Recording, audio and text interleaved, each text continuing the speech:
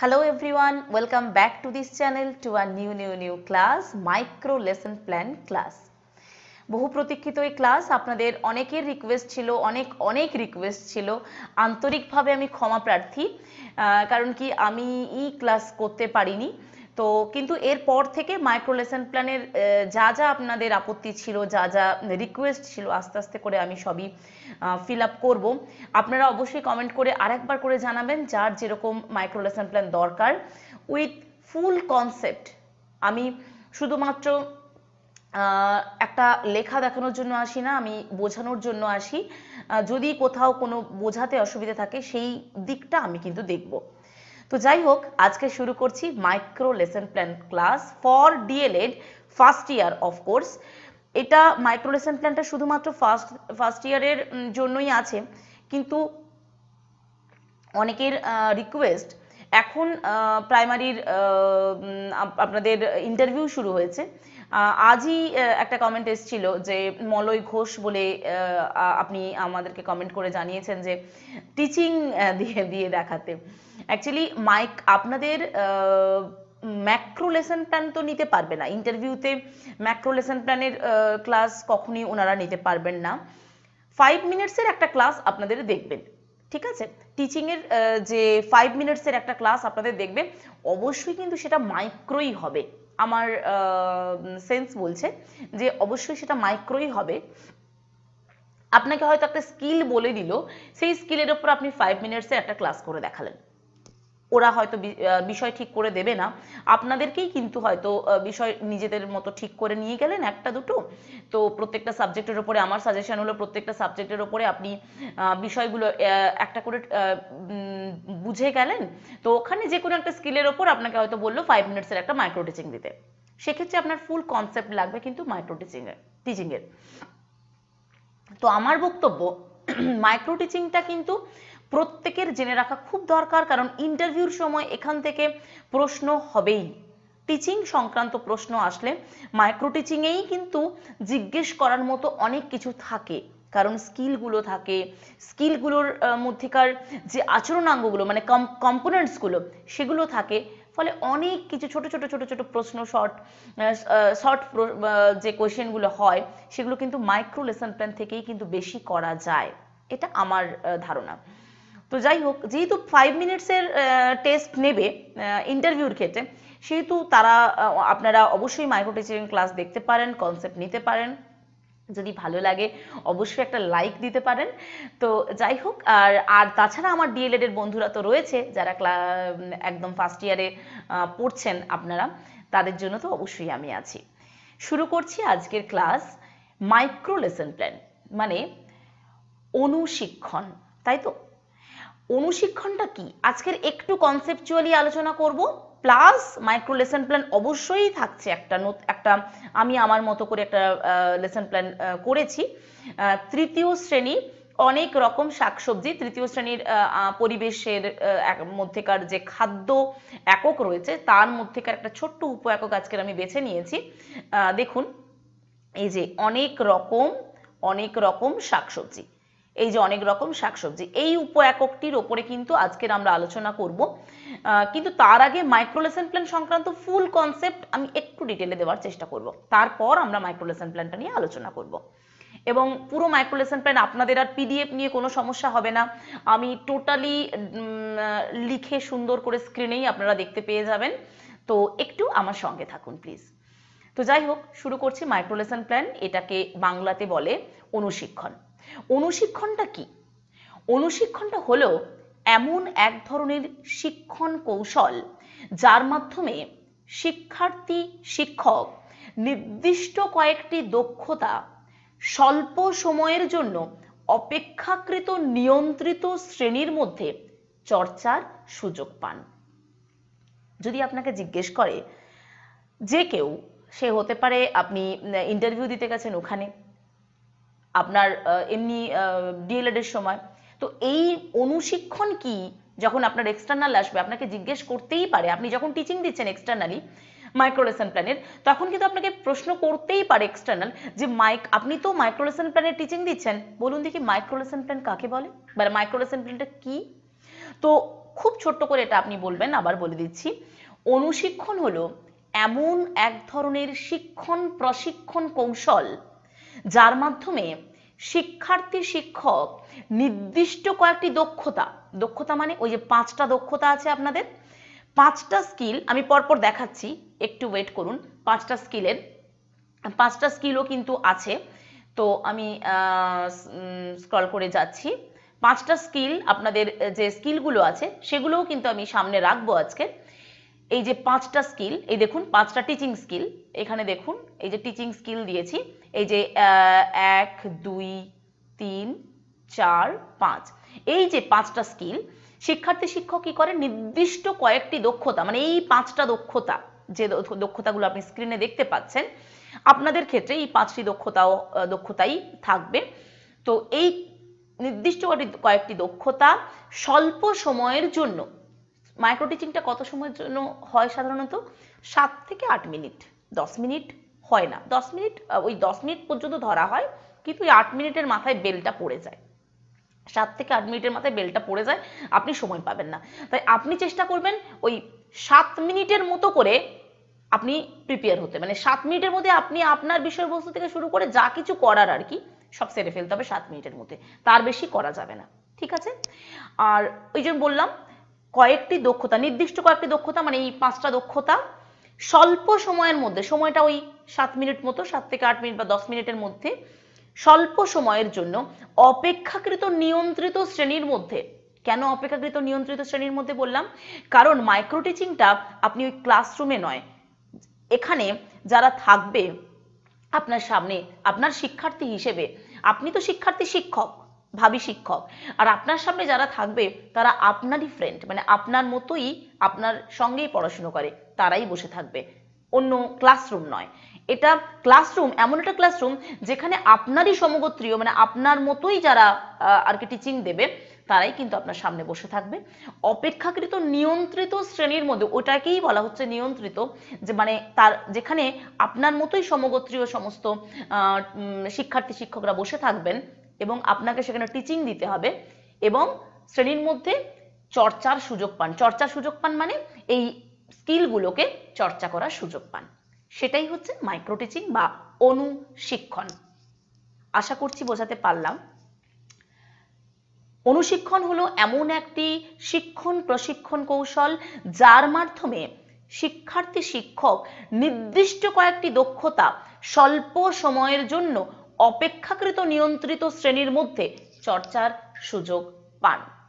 Clear এটা হচ্ছে অনুশিক্ষণ। আপনারা লিখেও নিতে পারেন। এটা কিন্তু খুব ইম্পর্ট্যান্ট একটা বিষয়, যে কারণে আমি এত জোর দিয়ে আপনাদের কাছে একটু বলার চেষ্টা করলাম। তারপর আসছে কম্পোনেন্টস কম্পোনেন্টস কি বলুন তো?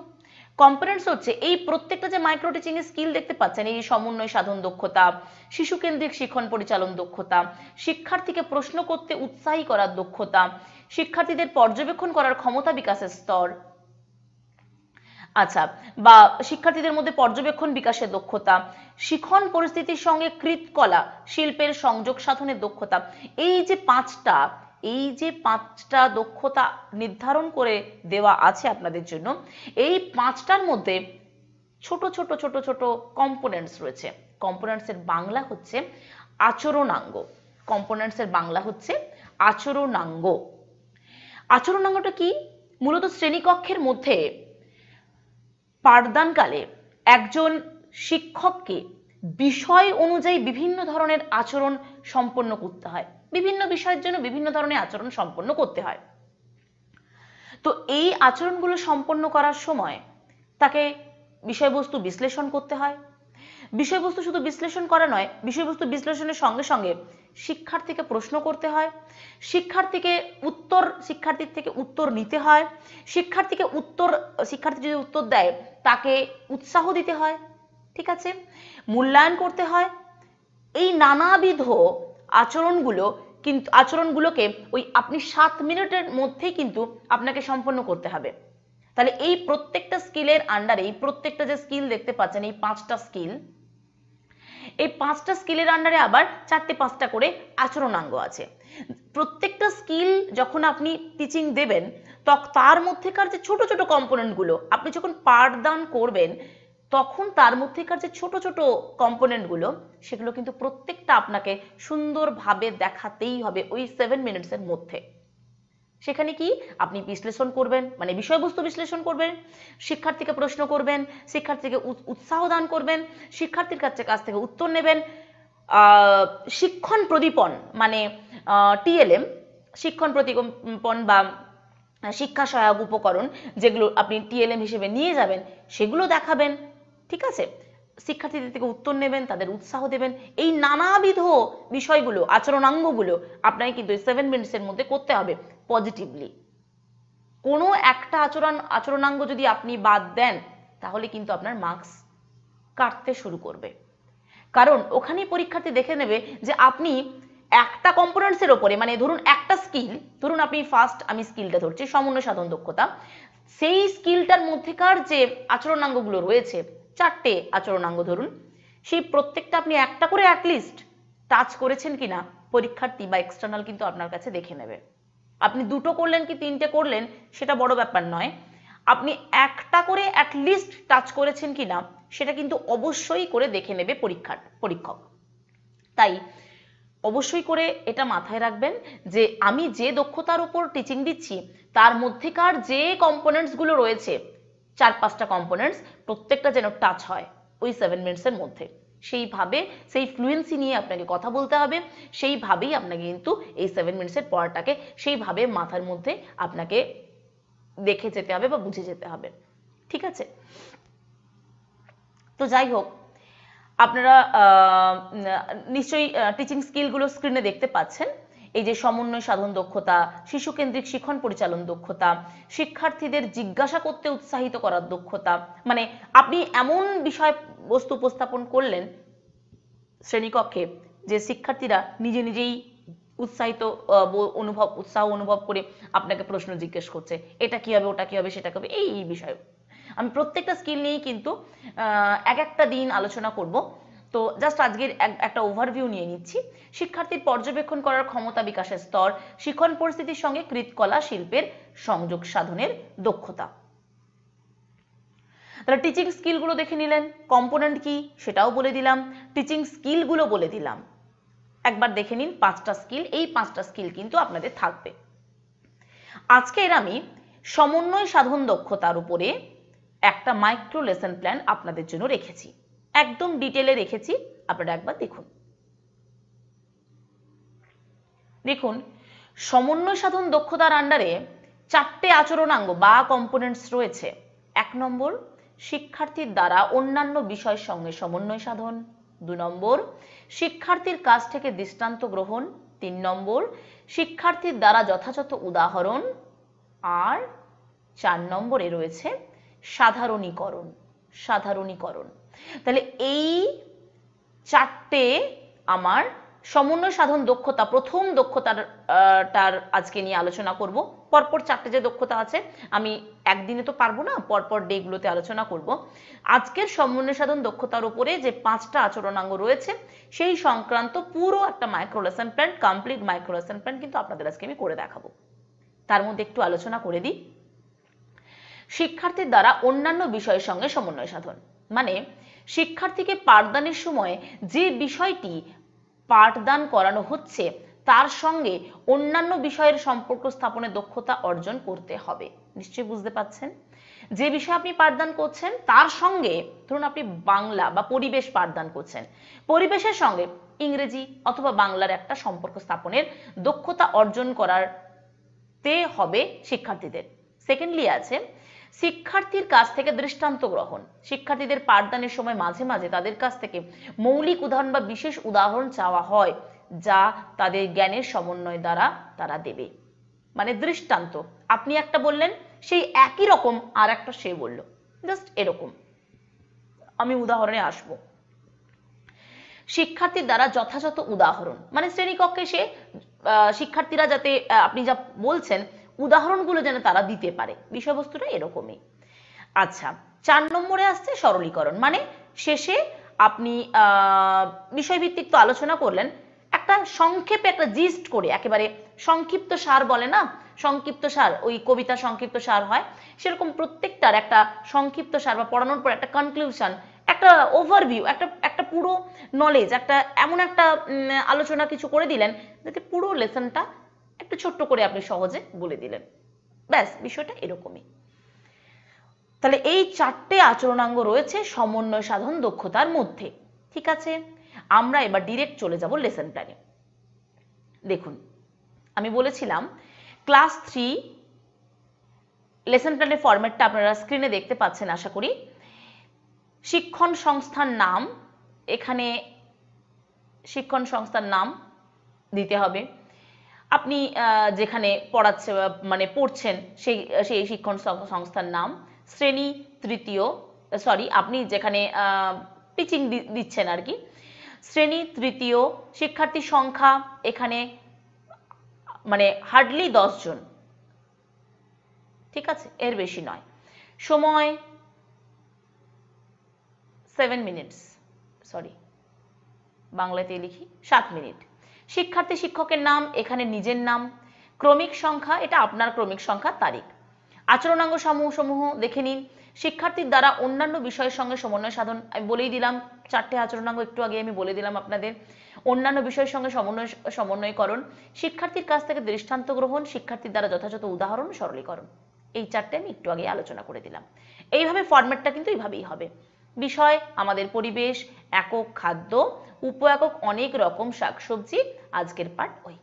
ঠিক আছে? এটা পুরো ফরম্যাট আশা করছি এতদিন আপনাদের যে কষ্ট ছিল, আমারও কষ্ট ছিল, যে আমার লেখাটা ঠিক ইমপ্রুভ করতে পারছিলাম না ক্যামেরার জন্য। তো যাই হোক, আশা করছি এখন আপনারা স্ক্রিনটা থেকে ভালোভাবে লিখে নিতে পারবেন।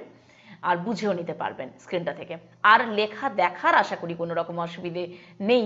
এই সমস্যাটা সমাধান করতে পেরেছি আপনাদের ভালোবাসায়। যাই হোক, তো এবার চলে আসছি বিষয়বস্তুতে। এবার কিন্তু আমি চলে আসছি বিষয়বস্তুতে। খুব সুন্দর করে সাজিয়েছি আমার সাধ্য মতো। দেখুন, বিষয়বস্তু। দেখুন, আসছি বিষয়বস্তুতে। একদম লেফট সাইডে এই বিষয়বস্তু। অনেক রকম শাকসবজি। দেখুন, একটা ছোট্ট কথা আপনাদেরকে বলি। আপনারা যখন মাইক্রো টিচিং দেবেন, সেটা হতে পারে এক্সটার্নালের সামনে, কিংবা আপনি যখন চাকরি পাওয়ার জন্য ইন্টারভিউতে গেছেন সেখানে, সবসময় সহজ টপিক ধরবেন। বেশি কঠিন টপিক ধরার কোনো দরকার নেই। এবং খুব ইন্টারেস্টিং টপিক ধরবেন, যেটা আপনি প্রচুর উদাহরণ দিতে পারবেন। প্রচুর প্রচুর উদাহরণ আপনি দিতে পারবেন। এই রকম যদি আপনি টপিক ধরেন, পড়াটাকে আপনি খুব মুখরোচক করতে পারবেন। আর পড়াটাকে যত আপনি মুখরোচক করতে পারবেন, যত আনন্দদায়ক করতে পারবেন, আপনার মার্কসটাও কিন্তু ততটাই সুন্দর পড়বে। যাই হোক। তো, বিষয়বস্তুতে রেখেছি অনেক রকম শাকসবজি। দেখুন, এইটা তো আপনি ক্লাসে পড়ছেন না, আপনাকে কোথাও দিতে হচ্ছে। তার জন্য প্রিপেয়ার হচ্ছেন। তো সেই জন্য বলব, সবসময় সহজ টপিক ধরবেন, বেশি কঠিন টপিক একেবারেই ধরবেন না। আমি খুব মজাদার একটা টপিক রেখেছি আজকে, শাকসবজির ওপরে এখন শীতকাল, নানা ধরনের শাকসবজি পাওয়া যায়। এই সময় যে ধরনের শাকসবজিগুলো পাওয়া যায়, সেগুলোর ফটো বা আপনার জাস্ট বিষয়বস্তুতে আসি, তারপর বলছি। আচ্ছা শিক্ষকের কাজ, দেখুন। শিক্ষকের কাজ, আমি একটু উপরের দিকে তুলছি স্ক্রিনটা শিক্ষকের কাজ বা আচরণ। এখানে প্রথমে আপনি তো একটু বিষয়বস্তু বলে দিলেন। কিছুই না, এই বিষয়বস্তু কি আমাকে বলতে হবে? আচ্ছা ঠিক আছে, একটু ছোট্ট করে বলে দিচ্ছি। বিষয়বস্তু আপনি একটু বোঝাবেন যে যিনি বলছিলেন যা, যিনি বা যারা আমাকে অনেকবার করে রিকোয়েস্ট করেছেন ডেমো ক্লাসের জন্য এখানে কি করবেন? ফার্স্টেই একটা ছবি দেখাই আপনাদেরকে। ওইভাবেই বিষয়বস্তুটা বলবেন, ছোট্ট করে। এই যে দেখুন, এখানে ধান, এখানে চাল, এখানে গম এখানে ফুলকপি, এটা শিম, এটা পেঁয়াজ কলি আর সঙ্গে পেঁয়াজ রয়েছে, উপরি পাওনা। তো আপনি কি করবেন?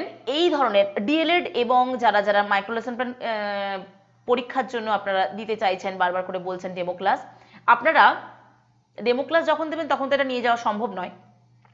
কিন্তু যখন এক্সাম দেবেন ফার্স্ট ইয়ারের এই ধরনের ফটো আপনারা কিন্তু কপি করে নিয়ে যাবেন। বড় আর্ট পেপারের মধ্যে নেট থেকে ডাউনলোড করে নেবেন। দিয়ে ভালো করে ফটোগুলো আর্ট পেপারের মধ্যে এরকম ছ, সাতটা ফটো আঠা দিয়ে বসিয়ে একটা বড় আর্ট পেপারের মধ্যে ফটো কিন্তু নিয়ে যাবেন। তাতে চট করে বিষয়বস্তুটা উপস্থাপন করতে পার, উপস্থাপন করতে পারবেন আপনি। আচ্ছা এখানে কি অনেক রকম শাকসবজি? ইন্ট্রোডাকশনে কি দেবেন? যে সবাই খাওয়া দাওয়া করে এসেছি তো আমরা? বলবেন, সবাই আমরা খাওয়া দাওয়া করে এসেছি তো? সবাই বলবে হ্যাঁ। আচ্ছা কে কি খেয়েছি? সবাই বলবে একটা কমন ভাত। আচ্ছা ভাত যে তোমরা খেয়েছো, যিনি বা যারা আমাকে মাইক্রো টিচিং এর জন্য বলেছেন মানে ডেমো ক্লাসের জন্য বলেছেন, একটু আমি সেই পরিস্থিতি না সৃষ্টি করেও একটু ছোট্ট করে আপনাদের থ্রোটা কীভাবে হবে সেটা বলার চেষ্টা করছি। সবাই আমরা খেয়ে এসেছি তো? আচ্ছা সবাই আমরা কি খেয়েছি? বলো, তুমি বলো, কি খেয়েছো? বলবে যে, আমি ভাত খেয়েছি। আপনার বন্ধুদেরকে অবশ্যই বলে দেবেন যে এটা ফার্স্ট ইয়ারের জন্য বলছি ডিএলএড ফার্স্ট ইয়ার আর যদি আপনি আপনি যখন ইন্টারভিউতে যাবেন, তখনও আপনি আপনার সামনে যারা থাকবে তারা কিন্তু আপনার কথায় রেসপন্স করবে। আপনি ফ্লুয়েন্টলি বলবেন, ভয় পাবেন না। বলবেন, আপনার, আপনারা সবাই, আমরা সবাই খেয়ে এসেছি তো তোমরা সবাই খেয়ে এসেছ তো? এরকম ভাবে। বলবে হ্যাঁ কি খেয়ে এসেছ? ভাত। ভাত কথাটা থাকবে, বাঙালি বলে কথা। তো আচ্ছা ভাত কোথা থেকে হয় বলো তো? মানে ভাতের, ভাতটা কোথা থেকে আসে? বলবে ধান থেকে। আচ্ছা ধানের ধানের ফটো দেখেছ? ধানের, ধান গাছ দেখেছ তোমরা? এই দেখো, আমি তোমাদের জন্য ধান গাছের ফটো করে এনেছি। দেখো, ধান গাছ কি সুন্দর ধানের শীষ হয়ে আছে, দেখো। এই ধানের শীষ থেকে এগুলো সবুজ হয়ে আছে, যখন পেকে যাবে তখন হলুদ বর্ণের বা সোনালি বর্ণের হয়ে যাবে। এবং সেই ধান থেকে ধানের খোসাটা ছাড়িয়ে আমরা আমরা চাল পাই। এই যে দেখো, চালের ফটো। চাল পাই, সেই চালকে ফুটিয়ে আমরা ভাত করি, ভাত বানাই। এছাড়া আমরা আর কি কি খাই? শাকসবজি খাই। শাকসবজির মধ্যে এই সময় শীতকাল। শীতকালে আমরা কি কি ধরনের শাকসবজি খাই? ফুলকপি। আচ্ছা কি, তোমরা বলতে পারবে, ফুলকপি, কুড়ি নাকি ফুল? উত্তর দেবে তারা। আপনি উত্তর দেওয়ার তোমরা কি জানো ফুলকপি কুড়ি না ফুল? ফুল কি? ফুলকপি। তাহলে কি তোমরা বলছো ফুল? না, ফুল নয়। তোমরা জেনে রাখো, এটা কুড়ি। আচ্ছা আমরা গম খাই। সরাসরি কি গম খাই? না, সরাসরি গম তোমরা রুটি খাও নিশ্চয়ই। রুটিটা এই গমকে পেশাই করে ভেঙে রুটিটা হয়। রুটিটাকে করা হয়। জল দিয়ে মেখে, আটা, আটাটাকে জল দিয়ে মেখে রুটি করা হয়। আচ্ছা তোমরা আর কি ধরনের সবজি খেয়েছো? কি সবজি খেয়ে এসেছ? কেউ বলবে, বিভিন্ন ধরনের। আচ্ছা তোমরা পেঁয়াজ কলি খেয়েছো? পেঁয়াজ কলিটা কি কি জানো? পেঁয়াজ কলি অ্যাকচুয়ালি কি? তোমরা কি জানো? দেখুন, পেঁয়াজ কলির এরকম আপনি আর একটা চার্ট করে, যারা ডিএলএডে আছেন, এরকম একটা চার্ট করে নিয়ে যাবেন। এই যে দেখাচ্ছি। এই যে দেখাচ্ছি, দেখুন। এই যে, এই ধরনের একটা চার্ট করে নিয়ে যাবেন, ঠিক আছে? এই যে, পেঁয়াজ কলি কি জানো? পেঁয়াজ কলি অ্যাকচুয়ালি মোটা, ঠিক আছে? আচ্ছা এছাড়া তোমরা বলো তো, এমন কিছু এমন কিছু ডাটার নাম বলো, যে ডাটাটা আমরা খাই, তারা বলবে পুঁই ডাটা খাই। আচ্ছা সজনে ডাটা খাই। আচ্ছা সজনে ডাটা কি ডাটা নাকি ফল? হ্যাঁ সজনে ডাটা, ডাটাও এবং ফলও। ডাটাটা তো বলাই হয়, ওটা কিন্তু অ্যাকচুয়ালি ফল, সজনে গাছের ফল। ফলের মধ্যে সজনে ওর ভেতরে যে দানাটা থাকে, সজনে দানা বা বীজ। তাহলে সজনে কিন্তু সজনে গাছের, সজনে ডাটা হচ্ছে সজনে গাছের ফল, লম্বা করে ফল। এইভাবে আপনি ছোট ছোট করে আইডিয়া দেবেন বিভিন্ন শাকসবজির নাম বলবেন দেখো এই শাকসবজির কিছু নাম দেখো, দাঁড়া, দেখাচ্ছি। দেখো তো, এখানে পেঁয়াজ কলি আছে বলেই দিলাম, এখানে বিনস আছে সিম আছে, সিমের কিন্তু পুরো অংশটা খাই, জানো তো, সিমের কিন্তু কোনো অংশই নষ্ট হয় না। এছাড়া আমরা বীজ খাই দানা খাই, কিসের দানা খাই? কড়াইশুটির দানা খাই। মটরশুটির দানা মটরশুটি খাই। এগুলো কিন্তু সব দানা বা বীজ খাই বীজ খাই। তাহলে এইভাবে বেশ কিছু শাকসবজির নাম আপনি বলে বলে জাস্ট ছোট্ট করে একটু উদাহরণ দিয়ে দেবেন। আমি এত কিছু বললাম, আপনি ছোট্ট করে দু কথা বা এক থেকে দেড় মিনিটের মধ্যে আপনি বিষয়বস্তুটা উপস্থাপনা করবেন। বোঝা গেল? জাস্ট খাদ্যের নাম। খুব ইন্টারেস্টিং এই টপিকগুলো সেই জন্যই আমি কিন্তু আপনাদের সামনে এটা রেখেছি। আপনারা ভাবতে পারেন বা এই সব ছোট ছোট এই ধরনের ইন্টারেস্টিং বিষয়বস্তু নিয়েই কিন্তু আমি আসব, যাতে আপনারা আপনাদের বিষয়বস্তুর চুজগুলোও ঠিকঠাক করতে পারেন। কোনটা আপনি পড়াবেন ফাইনালি সেই চুজটা যাতে আপনি ঠিকঠাক করেন, সঠিক করেন, সেই মতোই আমি টপিক নিয়ে কিন্তু আসব। যাই হোক, এবার আপনাদের লেসন প্ল্যান দেখানোর পালা। আচ্ছা এইভাবে আপনি বিষয়বস্তু প্রথমে বললেন, বিষয়বস্তু বলে ফেললেন, তার ফটো দেখালেন ফটো দেখিয়ে বিষয়বস্তুটা বললেন। সময় কিন্তু এক থেকে দেড় মিনিট বিষয়বস্তু আপনি আলোচনা করবেন, এতটাই সংক্ষেপে করবেন। শিক্ষকের কাজ, আমরা গাছের কোন কোন অংশ খাই? উদাহরণ দাও। পাতা খাই, ডাঁটা খাই, ফুল খাই, বীজ খাই, ফল খাই। আচ্ছা পাতা খাই এমন একটা গাছের নাম বলো তো? লাউ পাতা খাই। ডাঁটা খাই এমন একটা গাছের নাম বলো তো? সজনে ডাঁটা খাই। ফুল খাই এমন একটা গাছের নাম বলো সজনে ফুল খাই, কুমড়ো ফুল খাই। বীজ খাই এমন একটা ফুলের, গাছের নাম বলো তো? বীজ। কুমড়োর বীজ খাই। মটরশুঁটি তার বীজ খাই, তাই তো? ফল খাই এমন একটা গাছের নাম বলো তো। কুমড়ো, ফল খাই, কুমড়োটা তো ফলই, তার কাছে এই গাছের ফলই তো কুমড়ো। তাহলে কত ভেঙে ভেঙে বলা যায় দেখুন, তাই না? শিক্ষার্থীর কাজ শিক্ষার্থীর কাজ তাহলে শিক্ষকের কাজ হচ্ছে গাছের কোন কোন অংশ খাই, তারা এগুলো বলবে। তারা বলার সাথে সাথে আপনি কিন্তু ভেঙে চট করে বলে দেবেন। একইভাবে এই যে লাউ গাছের পাতা, উত্তর, শিক্ষার্থীর কাজে উত্তর দিয়েছে পুঁই ডাঁটা, ফুলকপি, মটরশুঁটি। বলেছে উত্তর দিয়েছে। এট- হচ্ছে আচরণাঙ্গ, হচ্ছে যথাযথ উদাহরণ দিতে পারছে তারা। মানে আপনি জিজ্ঞেস করেছেন, আমরা গাছের কোন কোন অংশ খাই? তারা উদাহরণ সাহায্যে বলতে পেরেছে যে কোন গাছের কোন কোনটা খাই আমরা? সেটা উদাহরণের সাহায্যে বলল। দেখুন, আচরণাঙ্গটা বলে দেওয়া আছে। এই যত একটা আচরণাঙ্গের আন্ডারে দুটো উত্তর দেওয়া আছে। এবার নেক্সট ধান গাছের থেকে কীভাবে চাল পাওয়া যায়? আমি অলরেডি বিষয়বস্তুতে বলে দিয়েছি, সহজেই সে সেটা বলতে পারবে। ধানের বীজটার খোসা তুললেই চলে চাল পাওয়া যায়। এটা শিক্ষার্থী উত্তর দিচ্ছে। শিক্ষক বলছে, এরকম আর একটি ফসলের নাম বলো, যার খোসা তুললেই তা আমরা খাই। গম বীজের খোসা তুললেই তার থেকে আটা পাওয়া যায়। আচ্ছা এবার পেঁয়াজ কলি দেখিয়ে ওই যে ছবি দেখেছি আপনারা দেখেছেন ছবি এই যে, এই ছবিগুলো, এই যে পেঁয়াজ কলি, এই জন্য রেখেছি, এই যে দেখুন, এই যে এই যে পেঁয়াজ কলি, এই জন্য রেখেছি। এই যে, এবার বলছে পেঁয়াজ কলির, পেঁয়াজ কলি দেখিয়ে, দেখো এটা আমরা খাই, বলো তো এটা ফুলের মোটা না কুড়ির মোটা? এটা কুড়ির মোটা। এটা কিন্তু খুব ইম্পর্ট্যান্ট একটা প্রশ্ন, এটা কুড়ির মোটা, ফুলের মোটা নয়। এটা দৃষ্টান্ত গ্রহণের আন্ডারে হলো। কুড়ির অন্য আরেকটা উদাহরণ দাও তো, কুড়ি। ফুলকপি হচ্ছে কুড়ি। ফুল নয়, আমি প্রথমেই বলে দিলাম। এই যে আপনি তো জানেন আপনি কি লেসন প্ল্যানটা বানিয়েছেন, সেই মতো করেই আপনি কিন্তু বিষয়বস্তুটা উপস্থাপন করবেন। তাতে কি হবে? আপনার সামনে আপনি টিচিং দিচ্ছেন কি, আপনি ইন্টারভিউতে গেছেন, সবাই কিন্তু উত্তরটা বলতে পারবে। বুঝতে পারলেন কি? কি বলতে চাইলাম? আপনি যে প্রশ্নগুলো এই যে করবেন, এই যে শিক্ষার শিক্ষকের প্রশ্নগুলো করবেন, সেই মতোই কিন্তু বিষয়বস্তুটা বলবেন। তাতে কি হবে? আপনি ইন্টারভিউ দিতে গেলেও আপনার সামনে যিনি বসে আছেন তিনি উত্তর দিতে পারবেন। আপনি টিচিং দিতে গেলেও আপনার সামনে যিনি বসে আছেন তারা উত্তর দিতে পারবে। সেই মতোই কুড়ির অন্য একটি উদাহরণ দাও তো, তারা বলতে পারবে ফুলকপি। কারণ আপনি অলরেডি বিষয়বস্তু কিন্তু বলে দিয়েছেন। কুড়ি হচ্ছে ফুলকপি। শিমের ছবি শিম দেখিয়ে বলা হলো বলতো এর কোন অংশ আমরা খাই? বলবে সবটা। আমিও কিন্তু এটা বলে দিয়েছি যে শিমের কিন্তু সব অংশটাই খাই। এটা কি অন্যান্য ফসলের সঙ্গে সমন্বয় সাধন বা অন্যান্য ফল এর সঙ্গে সমন্বয় সাধন? ফল নয়, ফসলের সঙ্গে সমন্বয় সাধন। শিমের মতো আর একটি সবজির উদাহরণ দাও যা আমরা সবটাই খাই। পটল, ঝিঙে ঢ্যাঁড়স বেগুন এগুলোর আমরা সবটাই খাই। এটাও যথাযথ উদাহরণের মধ্যে পড়ল। এমন কয়টা ফসলের নাম বলো তো যার দেহের আকৃতি সরু ও লম্বা? সজনে ডাটা, আমি এটাও বলে দিয়েছি। পুঁই ডাটা, এটা যথাযথ দৃষ্টান্ত তাহলে আবার একবার স্ক্রল করে দেখিয়ে দিচ্ছি।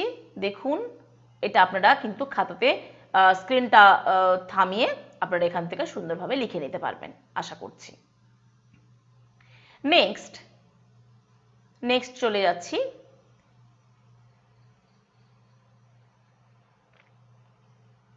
নেক্সট চলে যাচ্ছি। নেক্সট আসছি।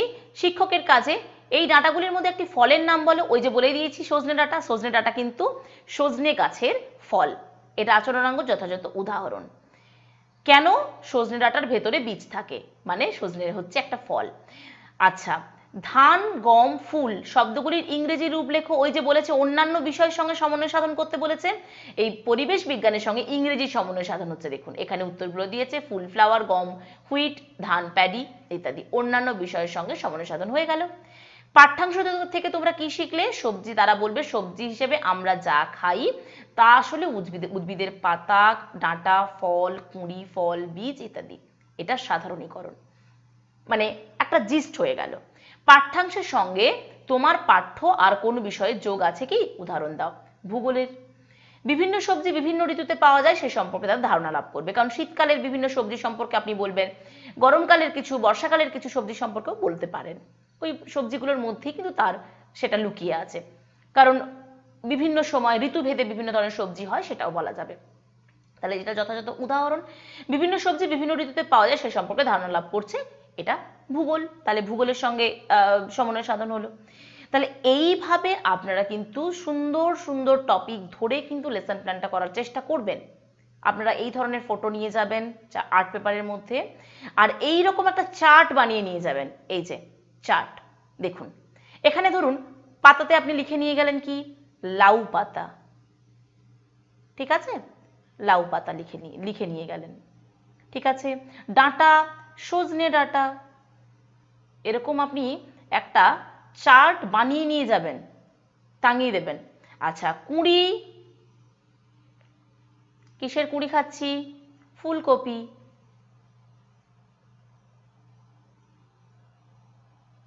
ফুলকপি ফুল, লাউ ফুল বা কুমড়ো ফুল বা সজনে ফুল হতে পারে। ফল, কুমড়ো, বীজ মটরশুঁটি। ঠিক আছে? তাহলে মোটা, এই যে পানের মোটা, পেঁয়াজ, কলি, এগুলো মোটা। তাহলে এইভাবে আপনি, আমি একটা একটা করে উদাহরণ দিলাম, আপনি দু তিনটে করে উদাহরণ দিয়ে এরকম চার্ট বানিয়ে কিন্তু নিয়ে যেতে পারেন। ইন্টারভিউর ক্ষেত্রে নয় ইন্টারভিউতে আপনি একটা ছোট্ট করে যেহেতু আপনার সামনেই বোর্ড থাকবে, আপনি ছোট্ট করে এরকম একটা ড্র করে নিতে পারেন এক মিনিটের মধ্যে। ব্যাস। আমি চেষ্টা করলাম ফুল কনসেপ্ট একটা দেওয়ার, এবার আপনারা এখান থেকে আপনাদের মতো করে আপনারা বিষয়বস্তুগুলোকে তুলে নেবেন। তবে ওই একটাই কথা, সবসময়ের জন্য ইন্টারেস্টিং টপিক ধরবেন। ঠিক আছে? যে টপিকটা বলা যাবে বেশি। আপনার মতো করে নয়। যে টপিকটা আপনি বেশি বলতে পারবেন, সহজে সবাই জানে এরকম ধরনের টপিক ঠিক আছে? তাহলে আমি মোটামুটি আপনাদের ক্লাস দিতেই থাকব, আপনাদের রিকোয়েস্ট মতো। আপনারা প্লিজ যদি আমার ক্লাস থেকে আপনারা কোনোভাবে উপকৃত হয়ে থাকেন, একটা লাইক করবেন। প্লিজ শেয়ার করে দেবেন আর পারলে সাবস্ক্রাইব করবেন। তো আজকে ক্লাসটা এই পর্যন্ত থাক। পরে খুব তাড়াতাড়ি নতুন কোনো ক্লাস নিয়ে চলে আসছি। আপনাদের সামনে ততক্ষণ আপনারা সবাই সুস্থ থাকবেন, ভালো থাকবেন। টাটা।